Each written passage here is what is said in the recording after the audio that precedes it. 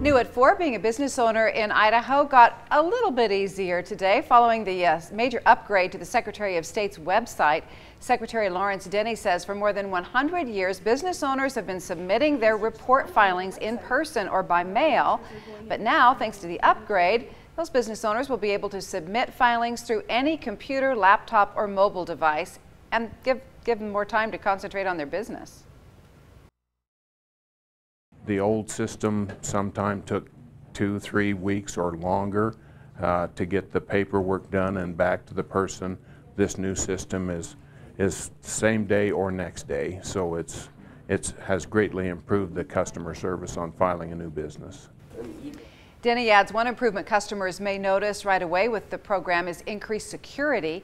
That includes becoming PCI compliant, which helps ensure customers are safe when they make an online payment with a credit card.